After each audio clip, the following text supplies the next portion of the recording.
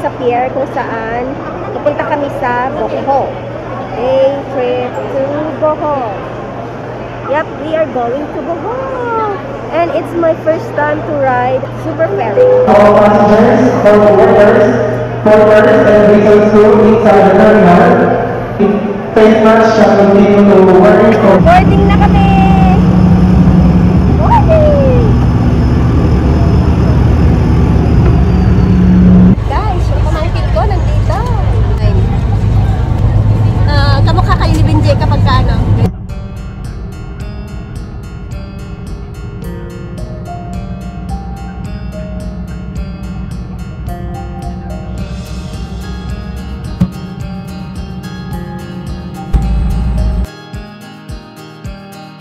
Bohol! Welcome to Bohol! Ayong buntag Bohol. Maayong Maayon, buntag buntag, Bohol. oh.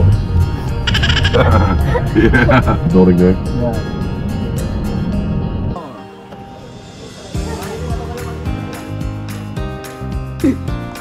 So, hi guys! Right now, we're here in Baclayan Church, one of the oldest Catholic church in the Philippines, guys. This is very historical church, guys. So, everything you see around, just like those statues right there, statue of saints, those are all antiques, guys. Antique. Because according to Wikipedia, Baclayan Church is a Roman Catholic church in the municipality of Baclayan, Bohol, Philippines, within the jurisdiction of the Roman Catholic Diocese of Tagbilaran. It was founded by the Jesuit priests Juan de Torres and Gabriel Sanchez in 1596 and became the older Christian settlement in Bohol. It was elevated as parish 1717 and the present Coralstone Church was completed in 1737. The Augustinian Recollects succeeded the Jesuits in 1768 and heavily renovated. OMG guys, the church is so beautiful.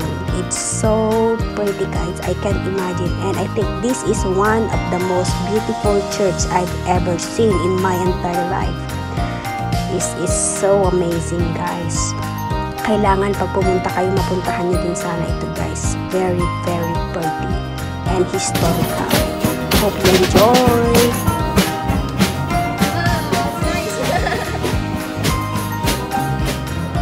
Our next destination here in Bohol, guys. This is Lobok River Cruise. So, a bit of history about Lobok is Lobok River Cruise is one of the most popular tourists in Bohol. The boat river cruise was a lot of fun from food, best nature around, blue and green waters, live entertainment, and scenic view. Oh, di ba? Ang galing. So, ayan guys, on board, dyan kayo magla-lunch ng lunch buffet. And then, habang nakasakay kayo dyan kasi, ano, 1 hour to four- 45 to 1 hour, um, hour ride sa boat, sa river yan. Tapos, mayroon nagla-live singing, band, ganyan. Tapos, ang ganda-ganda guys. Tapos, may mag-entertain sa inyo dyan ng mga um, mag-entertain ng mga cultural show. Makikita nyo mamaya. Basta kakain lang muna kami. Okay? Enjoy!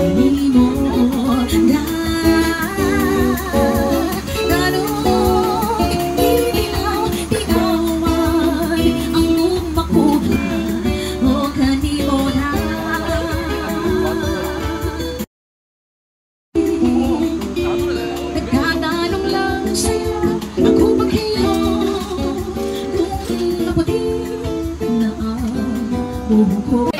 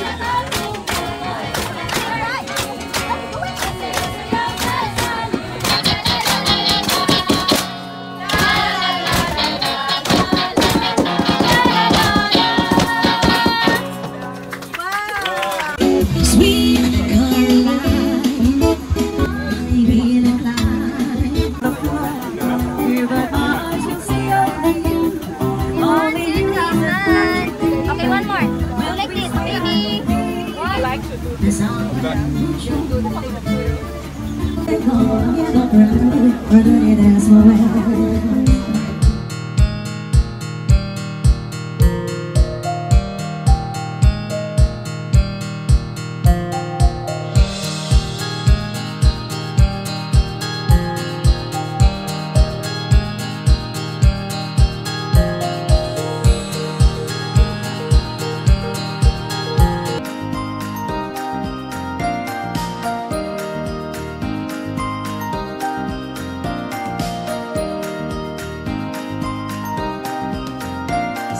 For our Lubok River Cruise Ship experience, guys. So, nag-enjoy kami. Sana nag-enjoy din kayo kasi ang ganda-ganda talaga ng view.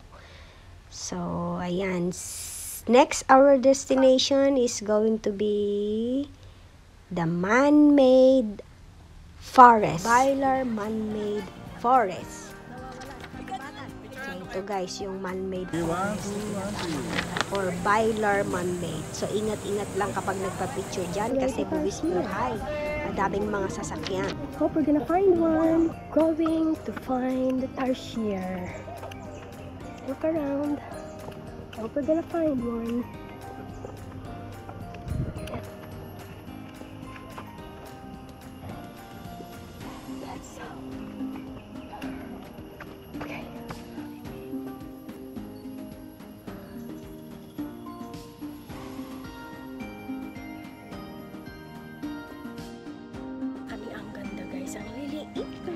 are here.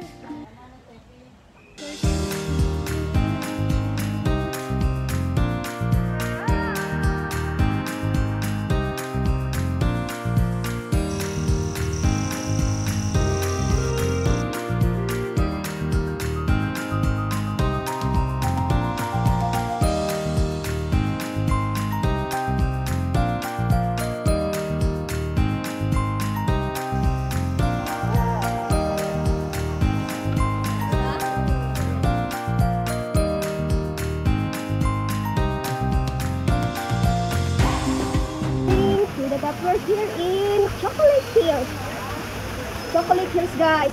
200 steps. Honey, wait. We're climbing 200 steps.